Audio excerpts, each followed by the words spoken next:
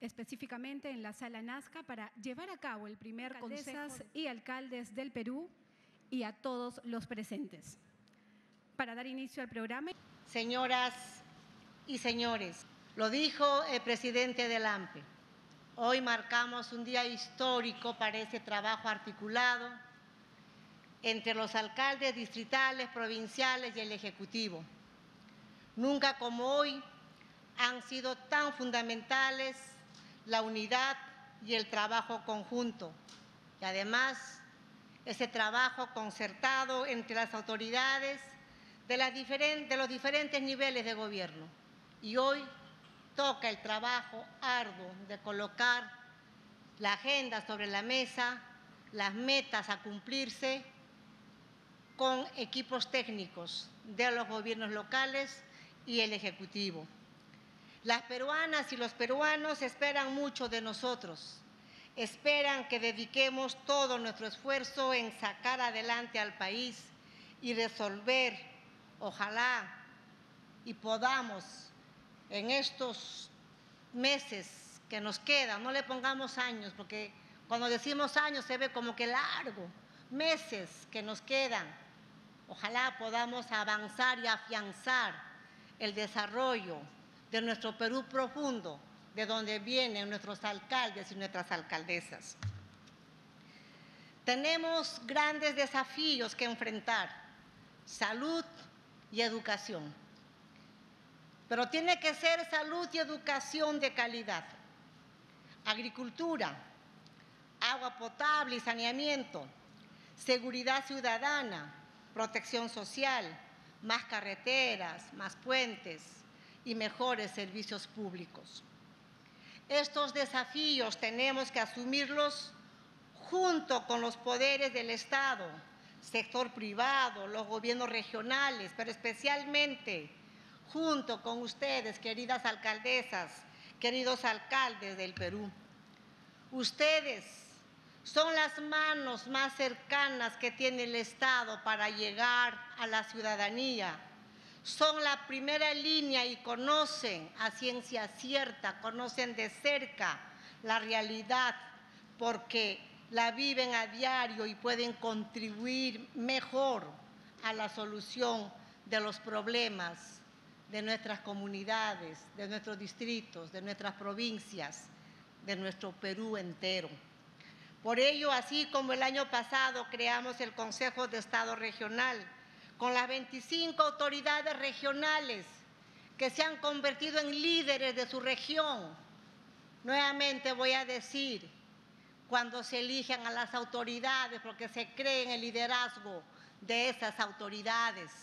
Y abrazo desde acá a los 25 gobernadores que hemos trabajado arduamente durante el 23, ustedes se han convertido en líderes para buscar el desarrollo de sus regiones. Y hoy están acá las alcaldesas y los alcaldes, también líderes de sus comunidades, de sus distritos, de sus provincias, y juntos lideraremos el desarrollo del Perú. A partir de hoy, los alcaldes y alcaldesas del Perú verán directamente, sin intermediarios, los proyectos de desarrollo con los ministros y lo harán junto con los equipos técnicos de los municipios y de los ministerios. En ese sentido, quiero ratificarles, queridas alcaldesas, queridos alcaldes, mi firme y decidido apoyo para que podamos juntos cumplir sus compromisos, nuestros compromisos de gestión, porque su éxito será el éxito de todas las peruanas y de todos los peruanos. Más recursos para los municipios. Por ello, hemos decidido firmemente, este apoyo tiene varios componentes. En primer lugar, un presupuesto histórico para los gobiernos subnacionales para el año 2024 con un incremento del 17% para los municipios, lo que significa 4,9 mil millones de soles adicionales al presupuesto que tenían.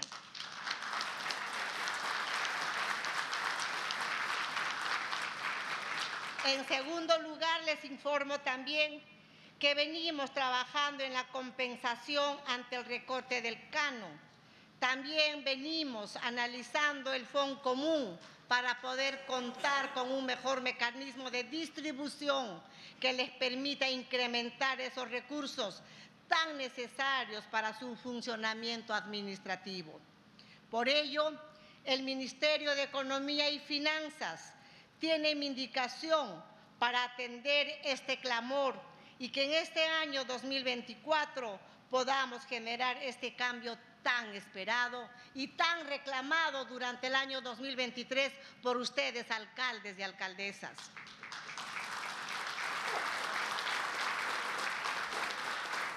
En tercer lugar, mi gobierno se compromete a generar un impulso para el desarrollo de proyectos municipales a través de presupuestos de los fondos concursables, como es el Fondo Invierte para el Desarrollo Territorial. Este año 2024 se destinará 150 millones para este fondo, lo cual permitirá atender las demandas de los gobiernos locales.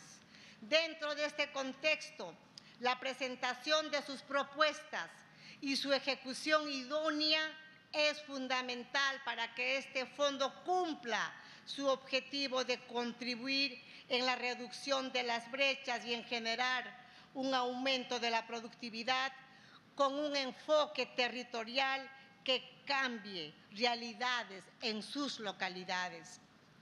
Trabajamos para mejorar y fortalecer la descentralización con la firme convicción de que el Perú moderno, próspero y con oportunidades se alcanzará cuando nuestras regiones, provincias, distritos y centros poblados se sientan integrados y reconocidos por un modelo de desarrollo que respete e integre su potencial cultural y productivo.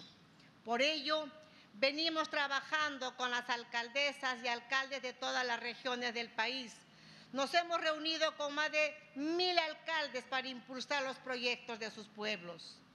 Desde el organismo de estudios y diseño de proyectos de inversión se brindará asistencia técnica a los gobiernos regionales y locales. Queremos que las obras se ejecuten con transparencia y eficiencia en los tiempos programados. No más elefantes blancos de obras trabadas, sino obras transformadoras. Felicito a los gobiernos subnacionales que en la ejecución de sus presupuestos han empezado con buen pie el año 2024.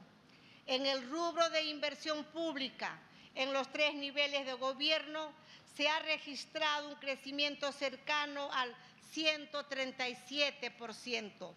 El gasto público del gobierno nacional creció en enero más del 94% en el caso de los gobiernos locales, cuya inversión se contrajo durante el año 2023 retomó una tendencia positiva y mostró un crecimiento sustancial en el primer mes del presente año. Es importante, queridas alcaldesas, queridos alcaldes, mantener y mejorar estos niveles de ejecución. Necesitamos invertir más y mejor, con eficiencia, sin corrupción, priorizando a los sectores más vulnerables. Sabemos también que uno de los problemas más álgidos del país que genera preocupación no solo de las autoridades, sino también de nuestra población, es la inseguridad ciudadana y sobre todo el accionar de organizaciones criminales. Estamos decididos a seguir enfrentando con toda la energía y rigor a la delincuencia y la criminalidad. Y para ello hemos incrementado el presupuesto de seguridad en casi 2 mil millones de soles, haciendo un total de 16 mil 234 millones de soles. Esta inversión servirá para el equipamiento y mejoramiento de comisarías y del patrullaje, entre otras acciones que también alcanzan a los gobiernos locales y regionales. Recientemente se autorizó a los gobiernos regionales y locales a financiar y cofinanciar inversiones con recursos propios del canon y sobrecanon en materia de seguridad ciudadana. Actualmente está en proceso la, la, distribución de patrulleros a las comisarías de diferentes regiones y provincias del país. Por ejemplo, 18 de ellas irán a Lambayeque, 14 a La Libertad, 14 a Piura, 11 a Junín, 8 a Cusco, 6 a Puno, entre otras. Vamos a desplegar todas nuestras capacidades humanas y materiales disponibles para restablecer el orden y garantizar la tranquilidad de nuestra población. Acabamos de declarar en estado de emergencia a las provincias de Trujillo y Patás en la región de la Libertad por un plazo de 60 días para enfrentar la creciente ola de violencia vinculada a organizaciones criminales y a la minería ilegal. Con el respaldo de la Policía Nacional y de las Fuerzas Armadas, vamos a combatir frontalmente las actividades de estas organizaciones criminales vinculadas a la minería ilegal, la trata de personas, el sicariato y la extorsión. Y aquí llamo a la unidad del Estado y de sus instituciones para hacer frente a este flagelo en unidad, Poder Judicial, Ministerio Público, Defensoría del Pueblo y el Ministerio del Interior y Defensa, le haremos frente. Solos no podemos, junto a ustedes sí lograremos pelear, luchar contra este crimen organizado en nuestro país sobre todo en las regiones más álgidas donde se incrementa la criminalidad. No nos temblará la mano para combatir la delincuencia y el crimen organizado que tanto daño le hace a nuestro país. Pero acá también quiero llamar a la sociedad en general. Si no compramos los celulares robados, pues ya no habrá más ladrones de celulares en las calles. Si no compramos autopartes de vehículos robados, ya no habrán muertes por el robo de vehículos. También, queridas hermanas, queridos hermanos, en esa unidad también depende de todos trabajar en esa lucha frontal contra el crimen organizado y la criminalidad. Sabemos que estamos a puertas de inicio del año escolar queridos alcaldes y alcaldesas, en menos de un mes daremos inicio al año escolar 2024. El Ministerio de Educación viene coordinando con los gobernadores regionales y alcaldes provinciales y distritales para la supervisión y mantenimiento de los 55.500 locales escolares de todo el país con la finalidad de optimizar la infraestructura educativa antes del inicio de clases el próximo 11 de marzo. Tenemos que trabajar arduamente para que esos locales estén adecuadamente, para que nuestras niñas, nuestros niños, nuestros adolescentes puedan tener clases en salones de calidad.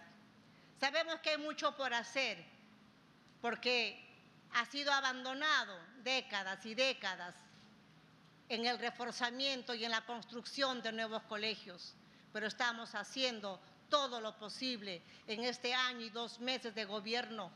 Próximamente estaremos inaugurando enormes colegios nuevos que pondremos a disposición de nuestras alumnas, de nuestros alumnos, de nuestros maestros y de los padres de familia para que puedan enviar con seguridad a sus niñas, a sus niños, a sus jóvenes, adolescentes, a los centros educativos.